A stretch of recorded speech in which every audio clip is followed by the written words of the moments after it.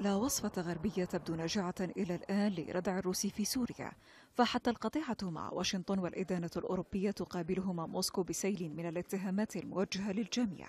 وزير الخارجية الروسي سيرجي لافروف اتهم الغرب بدعم مقاتلي جفش لاستخدامهم في الإطاحة بنظام الأسد. في هذه الأثناء تطفو أزمة دبلوماسية أخرى بين روسيا وبلجيكا. الخارجية الروسية استدعت السفير البلجيكي في موسكو على خلفية اتهام موسكو لبروكسل بالاشتراك في غارة جوية الثلاثاء الماضي. تقول موسكو إنها استهدفت الحسكة وأسفرت عن قتلى وجرحى بين المدنيين. اتهامات كانت قد رفضتها بلجيكا واستدعت على إثرها السفير الروسي. إلى جانب كل ذلك تسير موسكو دون تراجع في رسم ملامح حلب. ملامح تتشابه فيها المدينة السورية مع غروزني عاصمة الشيشان.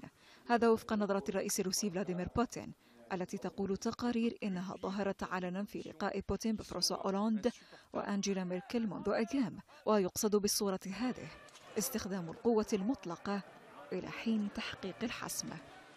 في مقابل كل ذلك لا يزال الغرب يصعد من لهجته ضد روسيا لكنه يتجنب الإشارة إلى أي عقوبات ضدها. بريطانيا اتهمت روسيا بتأزيم الوضع في سوريا وقبلها كان الاتحاد الأوروبي قد دان مشاركة موسكو والنظام في العملية بحلب. في قمة جمعت ممثلي الاتحاد في بروكسل يوم الخميس. قمة كان الكثير ينتظرون أن تتبنى نظرة برلين وباريس بفرض عقوبات على موسكو. لكنها شهدت بعض التحفظات على الأمر. سارة بن عيشوبة العربية.